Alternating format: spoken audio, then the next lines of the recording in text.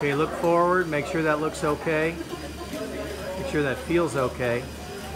Okay, why don't you jump off of there, jump on your bike. This is sort of T, T one and a half or something.